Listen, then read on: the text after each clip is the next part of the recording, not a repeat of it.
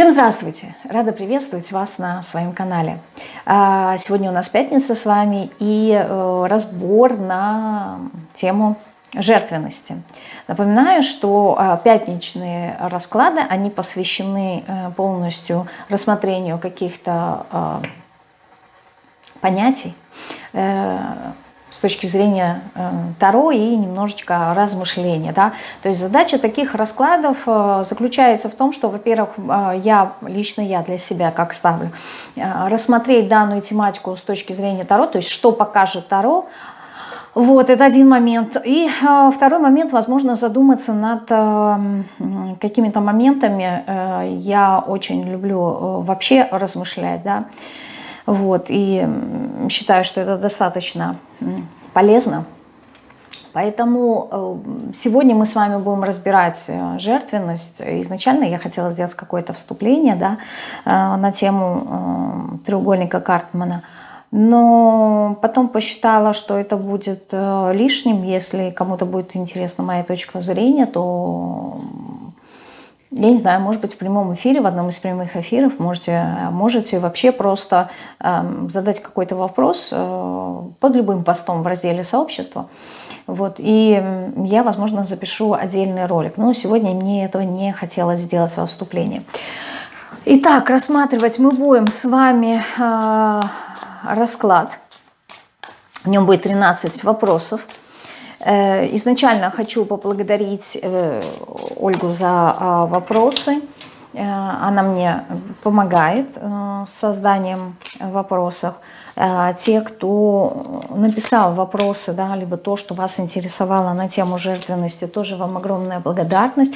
Но, эм, как правило, когда я прошу о чем-то конкретном, люди, безусловно, воспринимают это по-своему и просто высказывают мнение на тему жертвенности.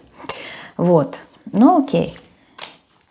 Если я, допустим, я просто, знаете, я, наверное, такой конкретный человек, когда я о чем-то прошу конкретно, да, я жду и какого-то э, конкретного ответа э, на то, что я спрашиваю, а получаю ответы о том, что люди хотят сказать, а не то, что я спрашиваю. Ну да ладно. А, век живи, век учись, что в принципе я и делаю. Значит, 2, 4, 6, 8, 10, прям вот 13 карт вытащила. А, работаю на колоде «Небо и земля». Здесь дополнительно у меня есть Николета Чиколи. Мне кажется, что вот какие-то а, моменты, возможно, уточняющие, я буду спрашивать на этой колоде. А, знаете, я хотела расклад э, про жертвенность сделать на колоде Таро сумасшедшего дома. Я очень полюбила эту колоду.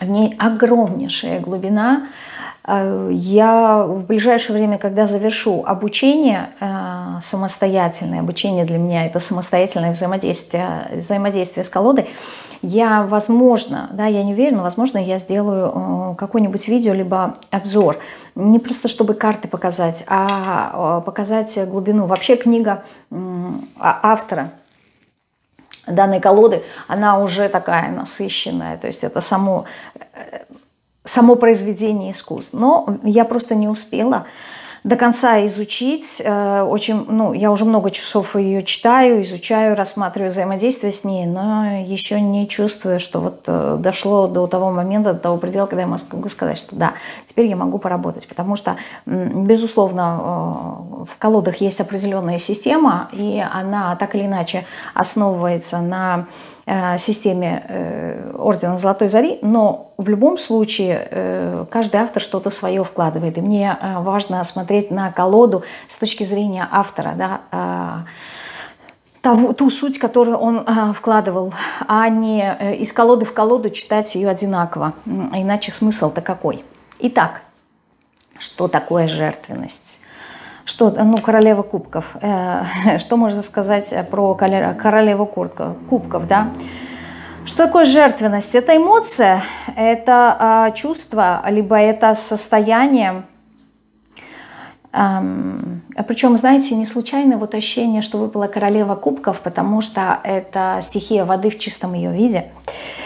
Она говорит о том, что э, описание вообще архетипа да, королевы кубков – это женщина принимающая, это женщина э, понимающая, но э, здесь жертвенность, она как будто бы знаете, считывается вот э, с негативной точки зрения, да, когда я не чувствую в себе некую такую состоятельность, когда я не чувствую в себе а, какую-то опору, да, вот знаете, рассказывает такое ощущение э, желания угодить, э, желание, может быть, где-то э, сгладить какие-то острые углы, может быть, где-то понять кого-то, простить. Но, понимаете, есть а, состояние принятия, и оно в благости, есть состояние в любви, и оно в благости. А здесь жертвенность, она, она не в благость, она вот знаете, как будто бы э, ощущение того, что человек находится в каком-то подавленном состоянии, невозможность э, высказать и выразить то, что ты ощущаешь. Знаете, вот э, вынужденное какое-то согласие, э, вынужденное подчинение. Э, я не вижу вот э, в слове жертвенности энергетически, я считываю карты всегда по энергиям, э, какого-то, знаете, вот манипулятивного такого состояния, хотя с психологической точки зрения это присутствует у жертвы, здесь наоборот, здесь какое-то вот ощущение э, забитого ребенка, да, которому не дают э, выразиться, да, не дают э, высказаться, не дают каких-то возможностей. Ребенок, который находится в каких-то рамках правил, правилах, ограничениях, как можно, как нельзя. И э, вот ощущение того, что э, идет какое-то подавление, да, здесь мне показывают э, испуганного ребенка, забившегося в угол, который смотрит э, на человека, который его напугал, и он не понимает, в чем он э, виновен. То есть что произошло здесь, ощущение непонимания.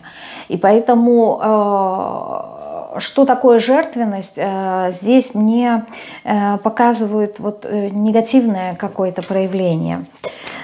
Так, давайте еще я уточню, что такое жертвенность. Хм.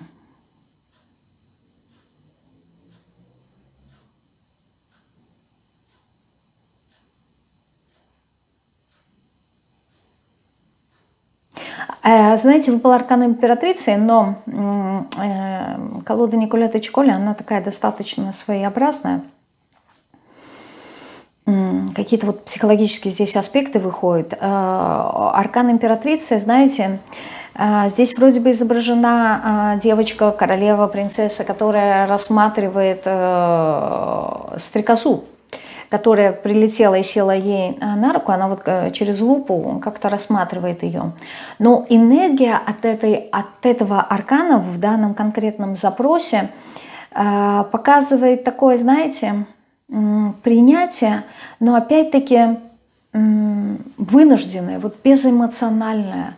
То есть, ну, прилетела, окей. Знаете, вот нету вовлеченности, нету интереса, нету э, радости. Здесь вот какая-то энергия низковибрационная, нету э, вот это вот э, желания любви да, к жизни, вот этой вот страсти, интереса. Да, безусловно, она рассматривает э, стрекозу, но выражение лица у нее здесь такое, знаете, невовлеченное. Вот как между прочим, да, как будто бы есть и окей.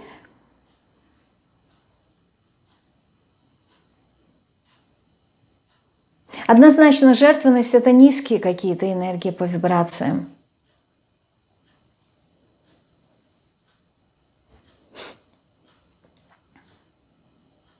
Это ощущение, знаете, как будто бы вот отказа от э, самой жизни, отказа от э, каких-то радостей, э, блеска в глазах. Окей. В чем важность жертвы в жизни человечества? Да, вот в чем важность? А смотрите, выпадает королева э, жезлов, говорящая о том, что Два аспекта. Сейчас, главное не забыть. мне показывает информацию, и а, это настолько все быстро происходит, что мне надо очень быстро проинтерпретировать, и пока я начинаю говорить, она как будто бы с задержкой, вот моя речь с задержкой идет от того потока, и я не успеваю. Значит, э, первый момент это образовательный, а второй момент, эм, сейчас опустила, сейчас, секунду.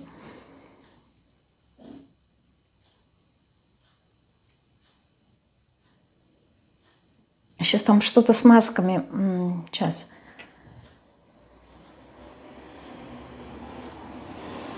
А, болезненный какой-то сценарий, да, все. Значит, а, первый момент. С одной стороны, вопрос, в чем важность жертвы? А, жертва, она как будто бы нас мотивирует на то, чтобы мы а, вообще люди, да, знаете, вот стремились к чему-то, да, к некой, даже не к чему-то, а к конкретному, к некой такой вот, знаете, независимости, э, к некой уверенности внутри, э, вообще внутри себя, да, вот опять-таки огонь, желание жизни, да, не привязываться к самостоятельности, к некой такой независимости ни от кого. Поэтому э, вот в этом плане идет вот обучение и мотивация, то есть вот как будто бы через жертву да, нам показывают, к чему нам нужно стремиться. Скорее всего, от чего уходить и к чему стремиться. Это образовательный момент. С другой стороны, э, характерная черта королевы жезлов – это ее ранимость, потому что это все-таки водная часть э, огня, то есть здесь две стихии, вода и огонь присутствуют. Она говорит о том, что э, у королевы жезлов э, есть чувствительность, она очень близко все принимает к сердцу, но вот это вот желание быть независимым, э, желание не показывать другим людям ту боль, те переживания, которые есть внутри нее, одевает какие-то вот маску, да, вот то же самое и жертвенность. Она как будто бы, знаете, вот то, что я сказала, да, э, как-то вот угождать э, другим, подавляя самого себя. То есть, да, мне может быть плохо, да, мне может быть трудно, сложно, но вот я одену маску, да, того, э, что у меня в жизни все хорошо, лишь бы не показывать другим. И вот это вот тоже есть э, своего рода жертвенность. И важность в чем? В том, чтобы не показывать. Почему? Потому что мне и так плохо психологически, а если я еще буду показывать эту боль, то есть э, страх того, что меня будут осуждать, меня будут как-то критиковать, а я этого не хочу. Я хочу, знаете, вот э, здесь не желание показаться лучше, чем ты есть, а наоборот не желание показывать... Э, Э, те трудности, потому что знаете, что происходит? Если я буду показывать э, трудности, которые я проживаю в своей жизни, то критика в мой адрес, она будет проявляться в роли норовоучения. То есть если тебя что-то не удовлетворяет, значит ты должен развиваться, значит ты должен изменить, то есть совершить какие-то действия. А я не готов у меня нету такого желания э, что-то менять в моей жизни. Да, она меня не устраивает, и мне проще поныть, поплакать, попереживать, но при этом менять я не хочу. А, и, а если я иду, то, что я сказала, мотивация, да, по королеве жезлов, а а меня наоборот э, выталкивают да, из того, чтобы я двигался вот как раз к независимости, чтобы я что-то делал. А у жертвы нет желания что-то делать. У жертвы есть эм, желание, э, наоборот, брать, как-то притягивать э, внимание к себе э, с целью, чтобы кто-то взял ответственность и сделал, а не я сам. Поэтому важность – это проигрывание вот этого сценария. Да? Э, с одной стороны, как я сказала, это обучение, чтобы идти в развитие независимость.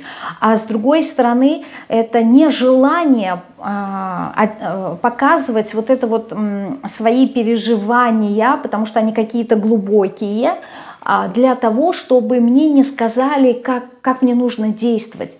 Потому что, когда я узнаю, мне как мне потом с этой информацией жить, да? Жить и чувствовать чувство вины, что ощущать чувство вины, что я ничего не делаю, либо, ну то есть это тоже неприятно, либо надо начать, а я не хочу ничего делать.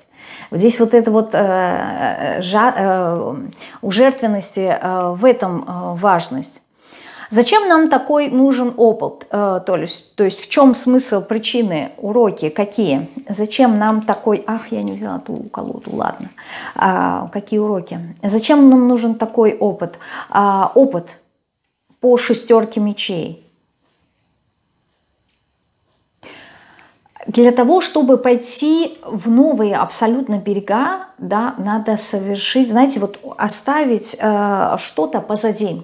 Шестерка мечей, она говорит о том, что ты не можешь двигаться дальше э, со своими шестью мечами, со своими шестью убеждениями, э, умозаключениями, потому что ты э, пойдешь э, не в новое, а куда бы ты ни пошел, ты будешь воспроизводить то, на чем ты базируешься, да, то есть то, во что ты веришь. И если ты действительно хочешь пойти в новое, тебе нужно изменить свои мысли, давайте так скажу, изменить то немножко, да, ракурс, может быть, взгляд, то, во что ты веришь. Потому что то, во что ты веришь, тебя привело к тому, где ты есть сейчас.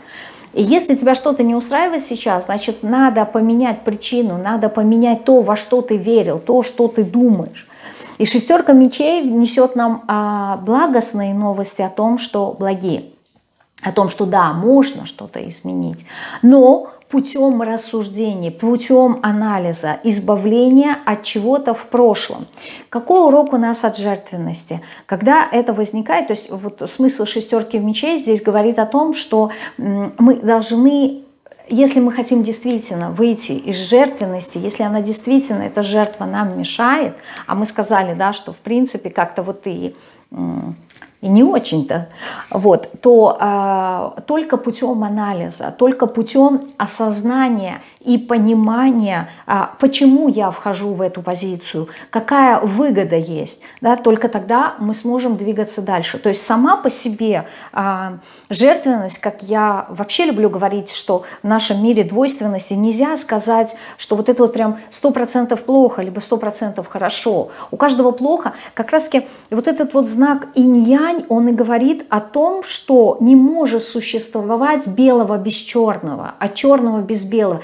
Не отдельные вещи. А вот знак э, инь-янь, так как он изображен, одно переходит в другое. Белое переходит в черное, черное переходит в белое. И внутри на белом фоне есть черный кругляшок, а, а на черном есть белый. Показатель того, что это неотъемлемая часть. То есть э, матрешка, она бывает целостной только тогда, когда внутри нее есть другие матрешки. А иначе это будет просто деревянная кукла, да, либо какая-то вот, э, я не знаю, статуэтка ни о чем говорящая.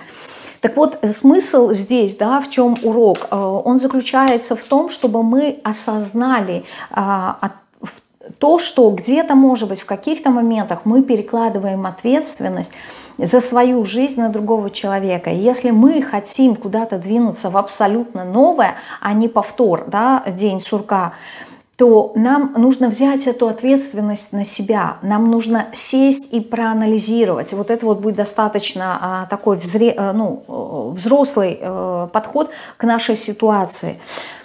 А, какие причины, да, зачем нам такой опыт? А, отшельник – девятый аркан, э, как раз вот то, что я и сказала, это приводит нам, э, нас э, к нашей, мы становимся мудрее, скорее всего, да, к нашему внутреннему какому-то поиску, да, то есть здесь жертвенность, она должна направлять нас на а, внутренний самоанализ. Для этого она нужна. Для того, чтобы сделать какие-то выводы и вырасти, да, пойти дальше по спирали развития. Э, только так. То есть найти вот, эту вот, э, вот этот свет э, внутри себя.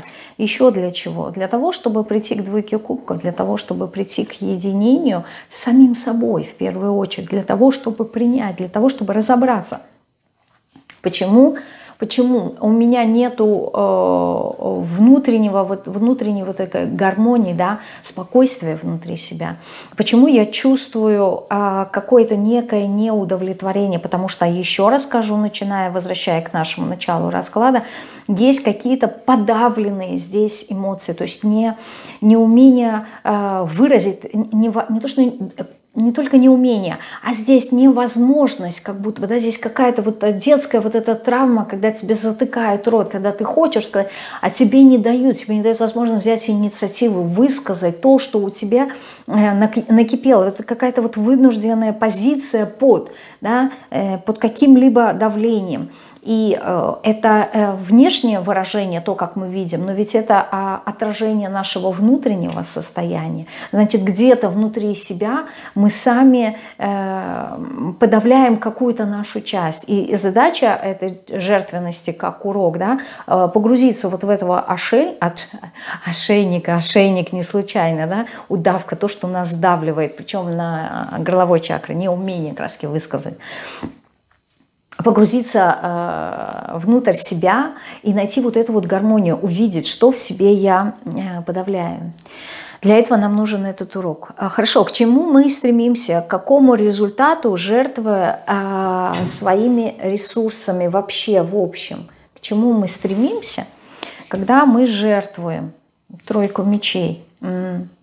Знаете, тройка мечей – это аркан очень глубокой-глубокой скорби, э, скорби нашей души, когда где-то в каких-то моментах мы э, сами наступаем себе на горло, не слушая свою собственную интуицию, которая так или иначе у всех есть. У нас у всех есть этот внутренний голос, обращаем мы на него внимание или нет. Всегда есть вот это вот предчувствие, что так поступать не нужно – то есть не надо мне это делать, не надо вступать в эти отношения, не надо идти на эту работу. Но где-то вот, знаете, какая-то детская позиция, надежда, что а вдруг? И вот это вот вдруг, она всегда оборачивается каким-то вот э, болезненным уроком. Тройка мечей у нас говорит о том, когда наши мысли, мечи опять-таки, да, они нас ранят. То есть наши собственные мысли, наши собственные убеждения, они приносят нам некую такую боль. Э, так, к какому результату мы стремимся, жертвуя своим... А, вспомнила. Э, и здесь смысл заключается э, в том, то есть глубокий смысл тройки мечей, прийти как раз-таки к, к сочувствию, к сочувствию, к сопереживанию, но не как-то, знаете, вот иногда мы говорим, что Сочувствие и сопереживание – это две, два, два разных понятия. Сочувствую – это когда я могу разделить свои чувства с другим человеком, либо чувства другого человека с самой, с моими – а сопереживание – это когда я включаюсь э, в проблему другого человека, да, когда я начинаю переживать совместно с кем-то да, по его какой-то теме, которая, э, либо проблеме, которая его волнует, которая для него актуальна.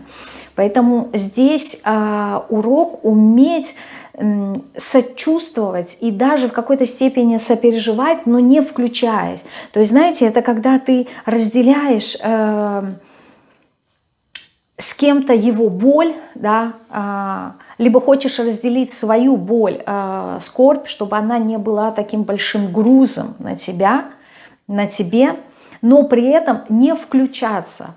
То есть, как бы так сказать, а, показать человеку, что да, ты... Я, я, я разделяю, я понимаю тебя, но не брать ответственность другого человека на себя – Потому что э, у каждого из нас своих проблем хватает. А если ты еще будешь брать чужие, то есть ты как будто бы берешь частичку той жизни, которую должен прожить другой человек, на себя. И э, если каждому э, сопереживать, э, то это будет очень тяжелый груз. И это тоже не есть хорошо для нашей души, потому что задача прожить наш собственный опыт а не забирать э, какую-то вот, э, какие-то следствия, да, э, причин, которые посеял другой человек. Поэтому здесь глубокий такой урок, да, скорее всего, к чему мы стремимся, когда мы жертвуем.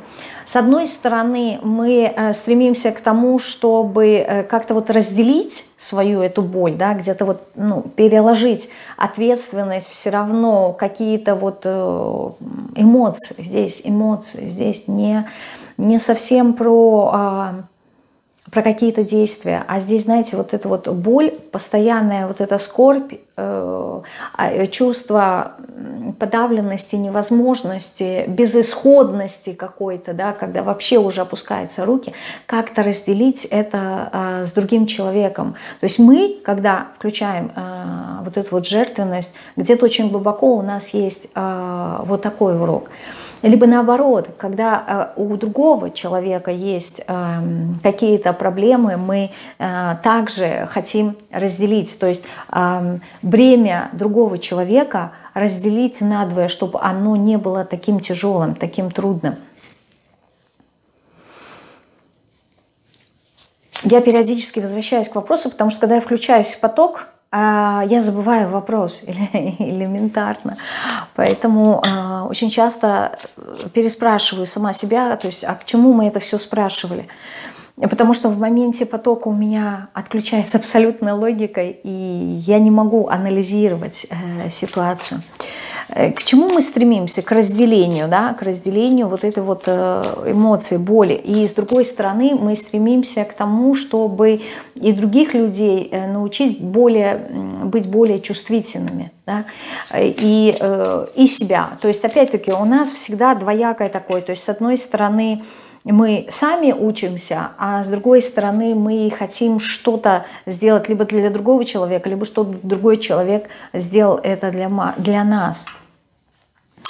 А дальше, у состояния жертвы а, есть вообще потенциал? Есть ли потенциал?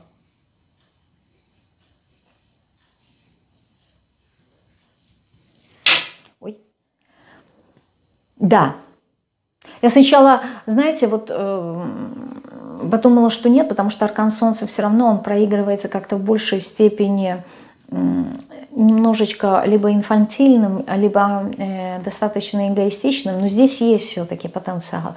Есть потенциал, знаете, к чему? Потенциал очень высокий, я бы так сказала даже, да, прийти э, к целостности, перейти к нашей... Э, к нашему психическому здоровью. Вот то, что мы говорили здесь, да, пройти по двойке кубков э, гармонии, когда ты э, четко начинаешь понимать э, себя, когда, знаете, здесь такое ощущение, что вот через жертвенность мы э, можем как-то больше и лучше себя осознать. Это, опять-таки, по тройке мечей здесь то, что у нас было, да, в скорби, когда мы должны э, прожить эту боль полностью, не убегать от нее, а прожить, пройти до конца для того, чтобы потом у нас получилось солнце, перерождение, чтобы мы вошли в новое какое-то начало. То есть до последней, безусловно, когда нам очень-очень больно, наше первое желание, инстинкт самосохранения как раз-таки убежать от этой боли. Но здесь потенциал э, жертвенности заключается в том, что мы должны, знаете, вот прям до последней капли э, прожить эту боль, чтобы нам знаете, когда ты находишься, доходишь до предела своей жертвенности, вот этой вот своей беспомощности, своей боли, у тебя как будто бы в самом конце открывается, ну то есть мы настолько опустошены, мы настолько истощены, что у нас открывается как будто бы, вы знаете, вот второе дыхание, какие-то скрытые резервы нашей силы, которые являются как раз-таки новым потенциалом. То есть чисто визуально это когда мы достигаем, падаем, падаем, падаем на самое дно, и вот мы дошли, и только тогда мы можем оттолкнуться. У нас есть опора, чего мы можем оттолкнуться и всплыть, подняться наверх. Вот здесь вот, вот этот потенциал. То есть когда мы доходим до какого-то предела, да, мы говорим, что все, больше я не хочу, да, больше я не хочу жертвовать, больше я не хочу ощущать вот эту вот всю боль, и вот это вот наше собственное желание, что все, я дошел до предела, дальше после этого мы находим в себе вот эти вот дополнительный резерв, который открывается, а мы находим в себе си, в силы э, вскрыть э, эту, этот нарыв, очистить его, всплыть на поверхность, да, и как-то поступить по-другому, стать другим человеком. То есть ощущение того, что пока ты не дойдешь до какого-то предела, до какого-то своего порога, никаких изменений не будет. И поэтому, когда мы видим вот эту вот боль, мы быстренько-быстренько убегаем, и по сути мы не, не прорабатываем ничего. Поэтому мы ходим по кругу, а нам надо дойти а, до конца. Поэтому потенциал здесь а, на психическое здоровье. То есть, знаете, как вычистить этот нарыв до конца, чтобы он зажил. Аркан умеренности. Аркан умеренности. Здесь э, девочка э, качается на качелях, и у нее две головы. Э, причем, знаете, две, две головы для чего? Для того, чтобы посмотреть на ситуацию с разных сторон. Есть ли потенциал? Конечно, потенциал есть, если мы посмотрим как-то ну, с разных сторон. Если мы увидим, знаете, здесь глубокое осознание, понять, почему мы входим в эту позицию. Да? Э, опять-таки, вспоминая треугольник Картмана, да, любая жертва, она является Э, когда она доходит до своей противоположности, она является самым сильным, самым жестоким агрессором. То есть любой человек, который доходит до предела своих физических возможностей, да, психологических, когда его постоянно подавляют, подавляют, подавляют, происходит взрыв, этот человек начинает мстить, он становится самым жестоким. Поэтому самые жестокие люди, по сути своей, внутри очень глубоко, они чувствительны и ранимы. Но вот это вот подавление давление, то, что мы сказали в начале, да, первично, причина в чем? Не, не с детства, невозможность выразить то, что я хочу без какого-либо страха, страха наказания, страха последствий.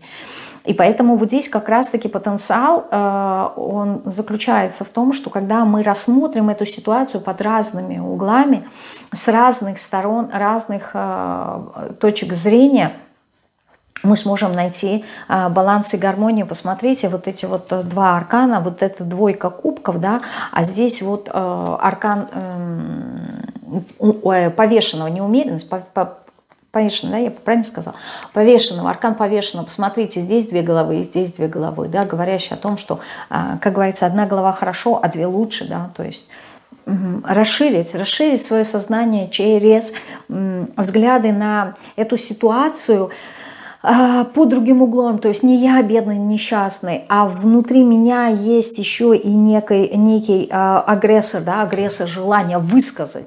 И с другой стороны спасатель, желание быть понятым, да, вот то, что вот мы говорили по тройке э, мечей.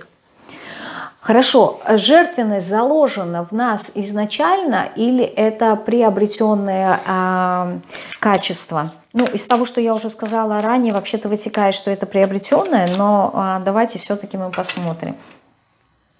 Паш кубков, да. Паш кубков у нас как раз таки говорит, что это приобретенное, да. Пажи это всегда дети, это ребенок, причем Паш кубков это такой ранимый, талантливый чувствительный, э, желающий и нуждающийся в любви ребенок. И здесь сразу можно сказать, что это приобретенное, да, и опять-таки, если Паш Кубков является э, архетипом ребенка, нуждающимся в любви, да, то есть это для него самая главная ценность, он на мир смотрит через эту призму, через одобрение, э, через эм, принятие любви, вот этого чувственного аспекта, то жертвенность, она не заложена в нас. Она приобретена э, в те моменты, когда ребенок недополучает эту любовь, да, когда э, вот его желание познать мир в любви рушится и ранит вот прям знаете, здесь как, как будто какие-то вот э, стекло разбитое, и оно ранит, да, вот что-то такое, да, что ранит нашу душу, и э, человек э, теряет доверие, да, то есть это не, не не врожденное, а это а, приобретенное чувство. Здесь вот всплыл момент доверия, да, отсутствие доверия. Причем это может быть на ранних-ранних стадиях, прям а, младенчества, да, когда вот эта вот дурная а, опять-таки, про убеждение, дурная мысль, что ребенок плачет, ну ничего страшного, да, если он сытый, если э, его поменяли, да, то запеленай, и пускай он лежит, поплачет, поплачет, э, устанет и э, уснет. И вот это вот э, понятие, то есть коммуникация грудного ребенка с матерью, она в этом-то и заключается, чтобы ощутить, что каждый раз, когда я плачу, всегда придет э, взрослый, который меня спасет, мама всегда будет рядом. То есть вот это вот уверенность уверенность, да, безопасности, что мир, в который я пришел, он безопасный. Это способ коммуникации э, ребенка, это слезы. Обратить, у него нет другой возможности обратить на себя внимание. И здесь как раз-таки вот этот вот э, Пашкубков, ребенок, он нам э, и говорит о том, что это приобретенное. Да? А если э, мама считает, что ничего, он поплачет и э, уснет, то мы даем, посылаем сигналы этому ребенку, что э, мир опасен, да, и здесь нету э, доверия. Да, шестерка жезлов.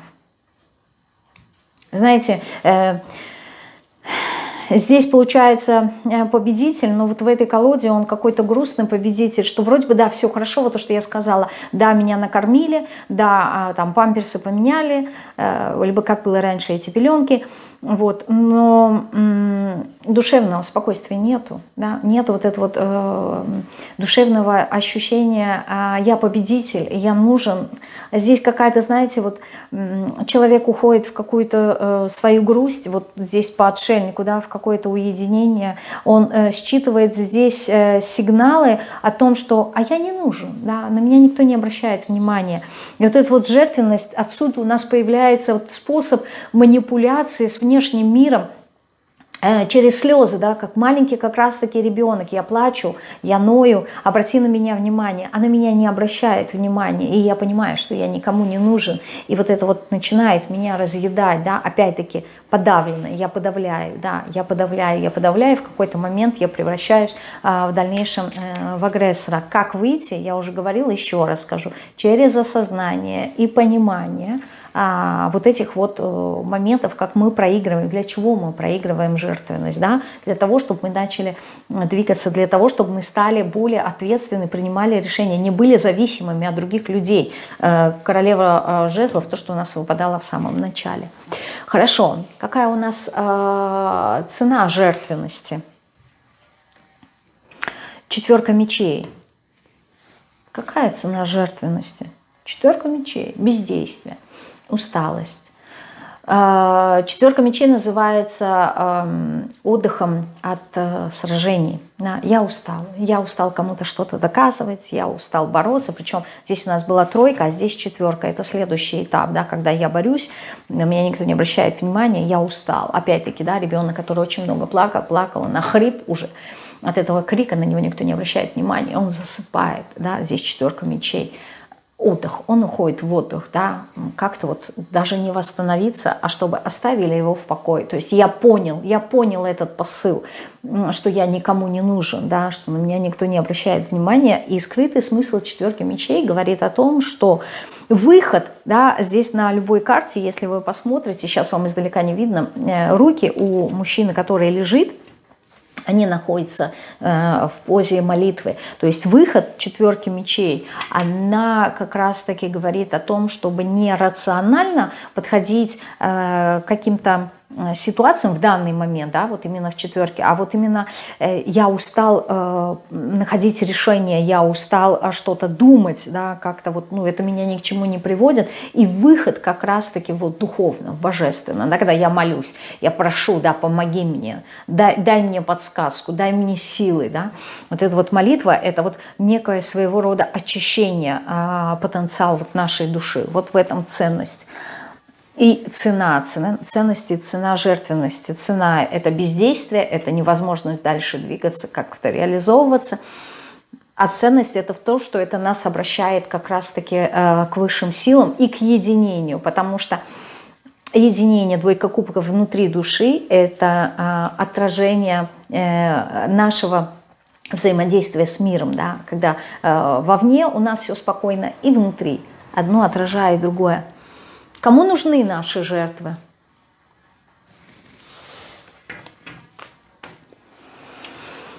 О, Боже, десятка э, жезлов. Кому нужны наши жертвы? Да никому не нужны наши жертвы. Неважно, какие они. Они нужны только нам. Потому что десятка жезлов – это завершающий момент. Духовный урок э, десятки жезлов говорит о том, что ты слишком многое на себя берешь. И когда ты берешь, э, ты как будто бы переоцениваешь свои силы, да, ты не понимаешь, у тебя нету вот это понимания, где, где есть э, грань, э, вот, э, как это сказать, что можно, а что нельзя, да, ты не находишься в гармонии, ты, ты выбиваешься вот из этого равновесия, да, то есть тебе надо, условно говоря, из 10 мечей, тебе надо э, жезлов 5, ну, чтобы было пополнение. А ты взял 10, ты взял на себя больше. А если ты берешь на себя больше ответственности, то ты как будто бы считаешь, э, то есть, ну, почему ты так много на себя берешь, да? Ты берешь, потому что ты считаешь, что ты способен это сделать. А если способен, у нас э, во Вселенной э, способный только один, это Бог, это Творец, только Он может все, только Он идеален.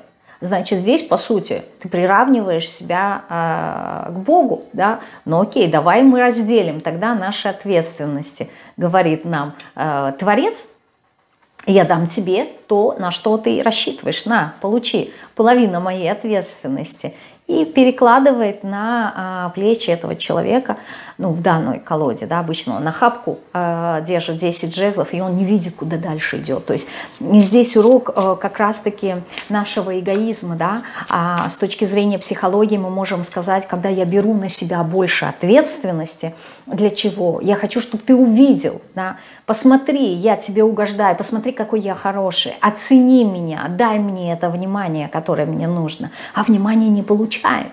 И ты становишься козлом отпущения. Да? Ты хочешь помочь? На, помоги. Ты хочешь это сделать? На, возьми. Вот она, тройка мечей. Да? когда мы э, не слышим, мы не слышим себя, мы чувствуем, что, блин, ну не надо, да, ну ты не потянешь это. Нет, наступаем себе на горло и говорим, да, я смогу, я могу помочь, у меня все получится, я и туда схожу, и сюда. А потом в конце дня смотришь, столько обязательств, столько обязанностей, и я уже не справляюсь. Вот здесь э, вот этот урок, да, то есть нету гармонии, ты не слышишь себя, ты не слышишь свой голос внутренний, у тебя нету э, баланса. Кому нужны наши жертвы? Э, рыцарь э, жезлов – они нужны нам в первую очередь, да, для того, чтобы мы э, двигались, чтобы мы двигались по жизни, чтобы мы э, по жезлам, чтобы мы пошли в это развитие, причем пошли э, в развитие э, с удовольствием, да, то есть, окей, я осознал, я увидел в себе этот сценарий, я его изменю, почему? Потому что он меня мотивирует на ответственность и на движение, на то, чтобы стать независимым, для того, чтобы найти силы в себе, а не э, просить э, от кого-то какую-то помощь. Так, дальше. А, проявление и свойства а, жертвенности, как она проявляется. Десят, о, десятка, говорю, как она называется, шестерка педаклей, прекрасный аркан, как раз таки говорящий о балансе. Да? Э, шестерка, баланс и гармония. Когда вы не находите, э, не находитесь именно в правильном обмене. Вот сколько ты отдал, столько ты получил. Всегда возникает вопрос, а как понять, да, нахожусь я в этом или нет? Вот как раз-таки по тройке мечей. Внутри вас есть этот внутренний голос, да, когда вы ощущаете, что все, хватит, хватит, я, я, я уже много вкладываюсь, надо как-то вот... Вы, во-первых, это чувствуете энергетически. А, когда начинаете общаться с человеком, вы чувствуете, что в какой-то момент все, надо замолчать и завершать это. Допустим, если вы разговариваете по телефону, уже не будете весь день. Вы говорите, то есть есть ощущение, что все, уже наступила какая-то пауза, уже сказать больше нечего. Надо очень вежливо и э, культурно завершить беседу и удалиться, чтобы каждый по своим делам. То есть это внутреннее ваше ощущение. А вы сможете слышать себя только тогда, когда вы находитесь в гармонии с самим собой, когда вы приняли сами себя чтобы э, услышать ваш внутренний э, голос. Поэтому э, проявление да, и э, да, свойство жертвенности – это а, когда вы выходите как раз-таки из а, баланса взаимодействия э, с миром. Туз кубков. Это как раз-таки то, что я говорила, да, вот в, этом, в этой колоде туз кубков, она держит как раз-таки шесть кукол, да, здесь шестерка педаклей, шесть кукол. Эти все шесть – это ее личности, она каждого приняла, э, и эта девочка, и всех любит одинаково, да, она всех держит близко к сердцу, абсолютно разные черты и грани своего характера, э, то есть целостность, целостность. Шестерка на древе жизни – это как раз-таки сфера Тиферет, а она говорит за красоту, она говорит за гармонию. Э, и здесь шесть кукол также нам показывают о том, что вот мы должны прийти, вот как и здесь по королев жезлов, мы должны прийти вот к этой самости своей, да, к целостности, к психической целостности, к физической целостности, эмоциональной, да, когда нету э, перекосов, есть принятие. А, как выйти из жертвенности и э, во что? Шестерка кубков. А, опять шестерка. Так, э, как выйти из жертвенности и во что? Здесь, знаете, вы как будто бы что-то связанное с прошлым. Возможно, проработать свое прошлое. Возможно, понять, где вы и почему утратили вот это вот доверие к миру, да, э, какую-то свою открытость, хочется сказать, свою невинность, да. Вот где вы потеряли свою девственность? Не э, в прямом смысле, а в переносном, да, в эмоциональном плане. Когда началось вот это? Был какой-то вот в вашей жизни рубеж, момент, когда вы начали проигрывать эту жертвенность? Через осознание. И смотрите, да, шестерка кубков в одной колоде, шестерка кубков в другой колоде. Как выйти? Опять-таки, как выйти, да, взять шанс, захотеть жить по-новому, да, захотеть, э, знаете, вот э, воспользоваться возможностями, выйти из своего какого-то заточения, вот из этой клетки, в которую, клетки вашего ума, ваших суждений, мировосприятия. Здесь нужно проводить очень огромную-огромную работу э, над тем, во что вы верите и почему вы верите в это. То есть здесь огромный такой труд нужно проделать э, пересмотра своей жизни, своих взглядов. И вы увидите, что ваши мысли и то, во что вы верили, они привели вас к тому, что вы имеете сейчас. Измените эти мысли. Во что выйти? В какое состояние аркан умеренности – в какое состояние выйти? В аркане умеренности, да, когда девочка здесь сидит на этой рыбке, она ее укачивает, когда все так спокойно, когда я ни о чем не тревожусь, когда, э, знаете, вот, когда бывает спокойно на душе, когда все дела, которые в течение дня ты сам себе запрограммировал, да, ты это сделал, потом, ай, хорошо, такое, знаете, вот расслабление я все смог, я молодец, я заслужил отдыха. Да, то есть э, в какое состояние? В расслабленности. Что такое расслабленность? Это отсутствие борьбы с внешним миром. Это отсутствие любого сопротивления, что с нами происходит. Да? Потому что через высокий уровень, то есть жертвенность проработать, просто так сказать, что все, я проработал свою жертву, нет. Здесь нужно менять полностью свои убеждения, свое сознание. Это огромная, еще расскажу, работа. Вам нужно все пересмотреть, посмотреть на мир другими глазами, увидеть, как он действительно устроен, а не то, как я... Э, вижу. Здесь ключевое то, что э, нужно понять, что вы сеяли те семена, которые привели вас к тем результатам, которые вы имеете сейчас. И надо разобраться с этими семенами. Почему и для чего вы их посеяли. То есть что вы хотели. Наверняка вы хотели что-то другое получить. А, а посеяли то, что вы сейчас имеете, да, то есть вот то, что вот мы говорили вот здесь, да, я хотел внимания, я хотел ощутить вот эту безопасность, да, доверие, но я этого не получил, и э, как следствие я проигрываю, то есть тело выросло, как я люблю говорить, а голова осталась маленького ребенка. И мы продолжаем себя вести, как маленькие дети в большом теле. Здесь вот это вот нужно пересматривать, прям брать каждый свой сценарий, а для того, чтобы его взять, его нужно сначала найти, а чтобы его найти, надо за собой наблюдать. А чтобы наблюдать за собой, надо уделять себе время и побыть в тишине, иметь возможность проанализировать, понять, почему я себя так веду в этой ситуации, что произошло, прав ли я был, какие мысли меня привели к этому. Это работа, это и есть работа над собой собой. Так, необходимо ли вообще жертвовать? Если да, то а, чем? Сейчас.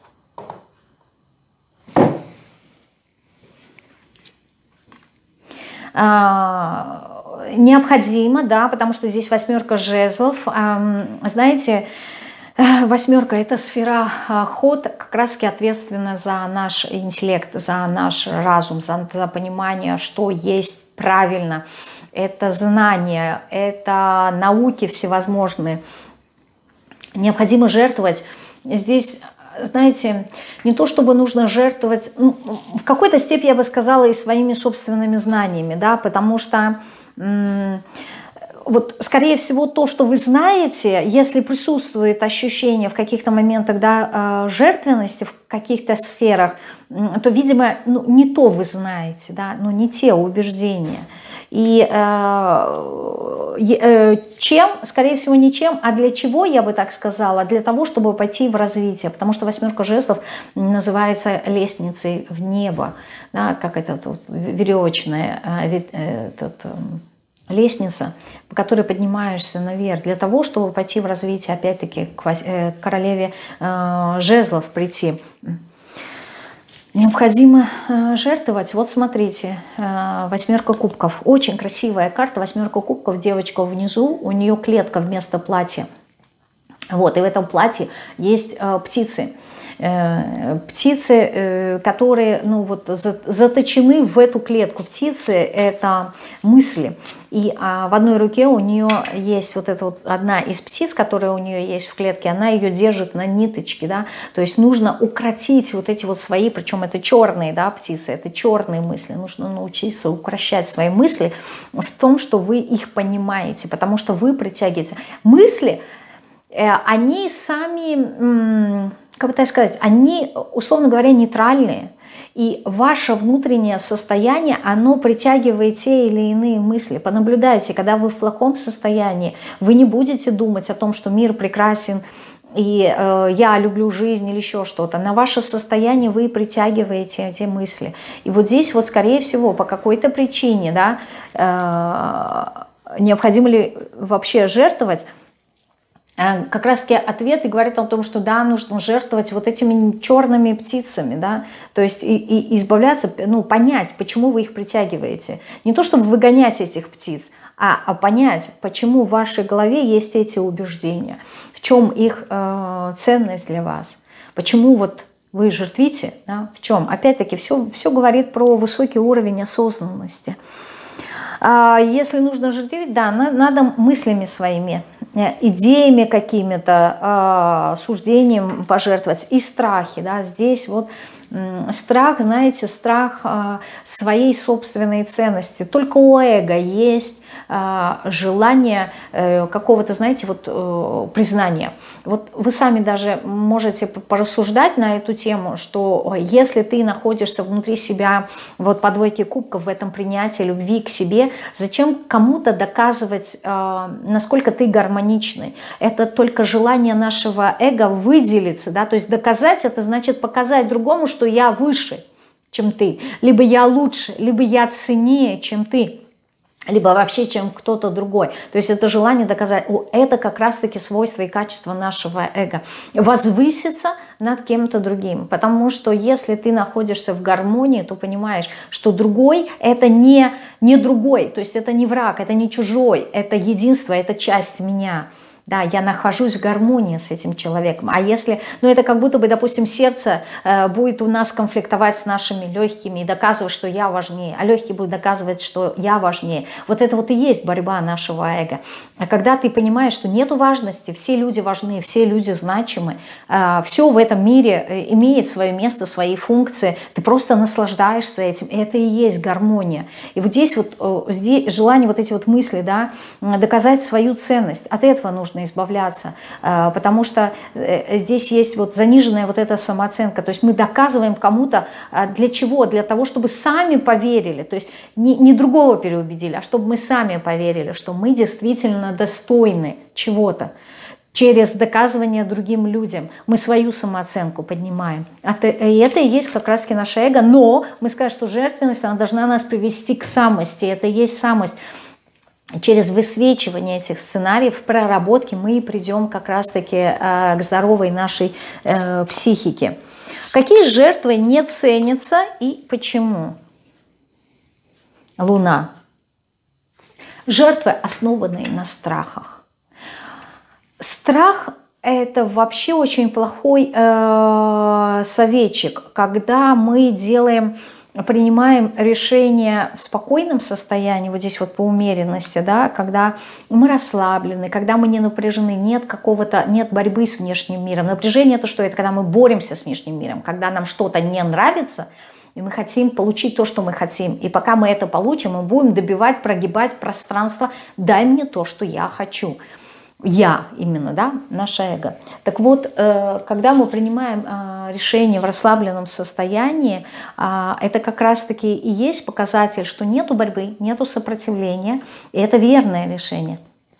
Когда мы чего-то боимся, а, мы будем так или иначе принимать те решения, когда мы либо будем убегать, либо мы будем бороться с чем-то, либо мы вообще будем бездействовать. Поэтому любые принятия, да, когда э, какие жертвы не ценятся, не ценятся, когда ты делаешь что-то, чтобы переложить ответственность себя на другого человека, то есть убежать, да, когда ты э, борешься, когда ты доказываешь что-то другому человеку, да, это борьба, э, либо когда ты вообще находишься в каком-то игноре, безразличии, да, э, почему, ну, то есть я боюсь и я замираю, я ничего не делаю, я прикидываю, что это вообще не со мной, да, это, знаете, бывает тогда э, жертвенность, это тогда, когда есть какая-то большая скорбь, утрата, да, либо человек э, ушел из этого мира, либо вообще что-то мы э, не получили, либо нас чего-то лишили очень важного, ценного, значимого, и мы находимся в каком-то состоянии, знаете, э, некой такой прокрастинации, как будто, а меня здесь нет, да, я потерян, вот это вот состояние потерянности, это тоже страх. И в этом мотиве, да, в этот момент, когда вас, э, вот представьте просто, когда вы находитесь в потерянном состоянии, вам что-то скажут, а можно я у тебя деньги возьму? Да, возьми.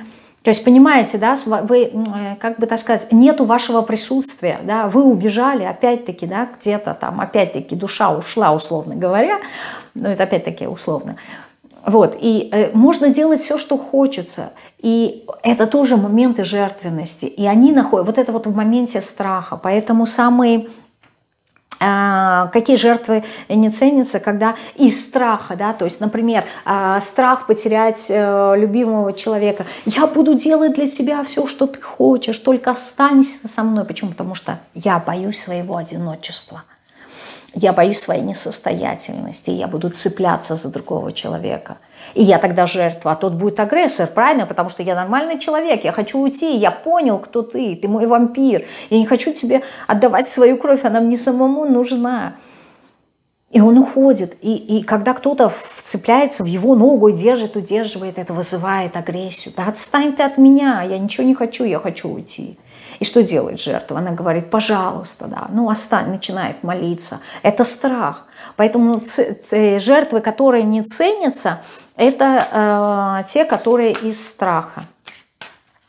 Если жертвы, которые вне страха, если кто-то из вас спрашивает, да, это когда мать может жертвовать как-то своим временем по ночам, если она особенно кормит ребенка, да, э, грудью, то она просыпает, да, она лишается, она жертвует себя своим временем, своим сном э, ради этого ребенка, но эта жертва, э, она в благости, да, потому что этот ребенок приносит ей э, любовь и удовольствие от того, что ты кормишь грудью, да, ты устаешь, да, ты не высыпаешься, да, твои нервы расшатаны, но эм, это часть процесса, да, то есть есть вот такие жертвы, когда ты понимаешь точно так же, как есть э, жертва, когда ты э, лишаешь себя, например, в момент развития, да, ты понимаешь, что нужно какой-то период войти в аскезу, да, например, там, э, помолчать, да, аскеза молчанием, э, очень прекрасная практика, когда ты вообще не разговариваешь, не внутри себя ты стараешься не разговаривать, и внешне, не, не то, что ты кому-то там смс написал, это тоже разговор, либо на бумажке записку, а нет, а ты вообще ни с кем не разговариваешь, ты уходишь в какую-то аскезу, и ты молчишь, тишина, да, внутренняя, для того, чтобы себя проработать. Это тоже жертва, но это жертва в благость. Это вот если сейчас кто-то из вас задается вопросом, а есть ли вообще какие-то жертвы эм, положительные. Ну и последний вопрос. Способны ли мы пожертвовать тем, кто мы есть, ради того, кем мы станем? Прям Здесь у нас был вопрос будущего, а здесь вопрос а, прошлого.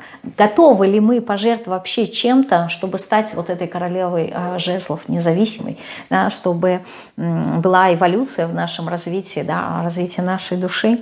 Способны ли мы пожертвовать тем, кто мы есть, а, ради того, кем мы станем?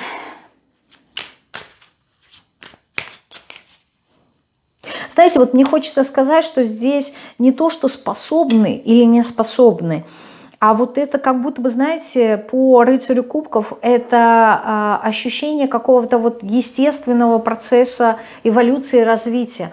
То есть здесь нельзя сказать, ты будешь жертвовать или нет. Э, ты это сделаешь так или иначе. Добровольно, принудительно, неважно, но ты это сделаешь. Вот у меня здесь такое ощущение. Способны, еще раз спрашиваю, способны ли мы пожертвовать тем, кем мы э, есть, да, ради того, чтобы быть тем, кем мы, да, Аркан Шута.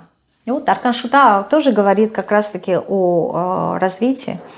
А развитие, э, это Шут, это Аркан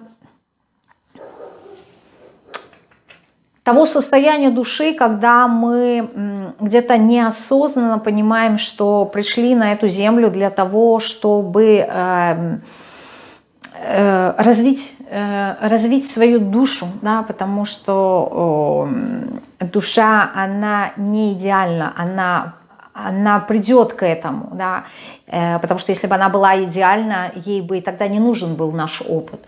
А вот как раз-таки сам процесс развития ей нужен. И Шут это как раз и понимает, поэтому он живет в доверии к высшим силам. Э, и здесь вот прям такая неизвестная, непонятная конструкция, да, э, когда она просто катится. Юбка у девочки в форме барабана, создающая э, шум. Вот на пути как раз-таки своего развития, своей эволюции, да, мы создаем шум, много шума. Э, но при этом это вот как будто бы часть, э, часть какая-то часть этапа, да. Еще раз скажу, здесь ощущение того, что хотим мы или не хотим, мы так или иначе будем жертвовать. То есть здесь неизвестно, шут неизвестно, куда в этой конструкции он прикатит. И вот это вот основная, основной посыл Аркана Шута, что он понимает, что Э, жизнь – это э, движение, и это развитие. И не важно, куда ты двигаешься, не важно, что ты делаешь, важно э, понимать, что любой опыт, он нужен для твоего развития. Абсолютно. Из любого опыта можно вынести какие-то уроки.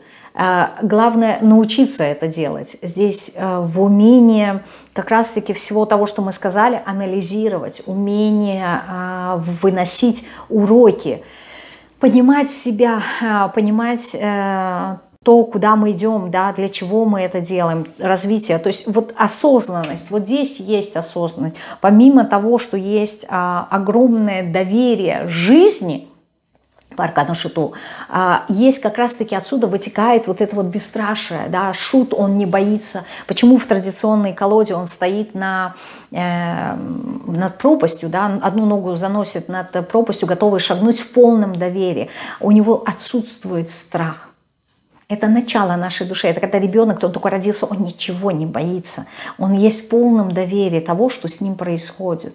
И только... Э, опять-таки здесь доверие проходило, да, гармония, вот то, что я говорила, с самим собой, с миром. Вот как, и, и для того, чтобы довериться этому миру, вот здесь как раз-таки и нужен высокий уровень э, осознанности. Да? Нужно прийти к этому, нужно стать выше, нужно повышать все время свои э, вибрации через...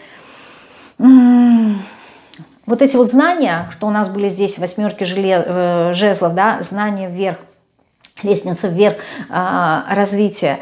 Э, это а, качество и свойства, которые мы нарабатываем на протяжении всей своей жизни и всего бесконечного нашего существования до того момента, куда, возможно, да, когда-то и будет конец, а возможно нет. Ну, то есть я не знаю, я не знаю ответ на этот вопрос, но здесь вот однозначно, по крайней мере в рамках нашей, а, нашего воплощения нынешнего, да, мы э, с чего я начала? А с того, что с самого начала, да, век живи, век, век учись. Вот здесь вот про это, здесь про это.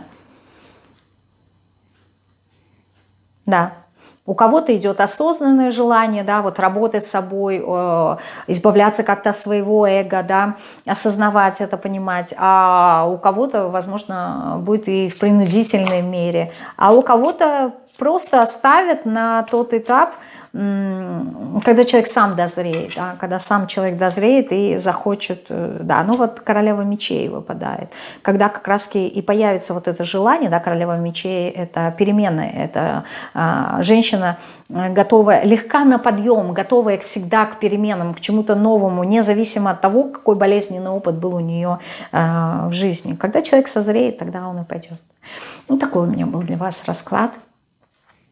Не знаю, как вам, мне нравятся такие расклады, такие форматы. Пока я э, сама читаю карты э, в потоке, я для себя тоже очень многое беру. И после, когда уже пересматриваю расклад, да, тоже над многими вещами начинаю заново снова рассуждать, пересматривать и находить какие-то ответы для себя, да, ту глубину, которая вот э, мне необходима. И поэтому я вам очень благодарна всем тем, кто смотрит эти расклады с огромной надеждой, что после расклада вы также задумываетесь, да, также появляется какое-то понимание, появляется какая-то ясность, и вы можете изменить свою жизнь, да, двигаться куда-то вот для себя в своем направлении э, эволюции и развития вашей души. Я благодарю вас за внимание. А, всего вам э, самого наилучшего, э, теплых, душевных таких, знаете, нежных, хочется сказать, выходных. Наполняйтесь в кругу своей семьи, э, в кругу э, близких вам людей. Цените, цените то, что имеете, благодарите. Это еще, кстати, и себе напутствие, да, когда я говорю для кого-то это, я сама это слышу, то, что мы говорили здесь, да, вот. И всего вам самого наилучшего. Прощаюсь. Пока-пока.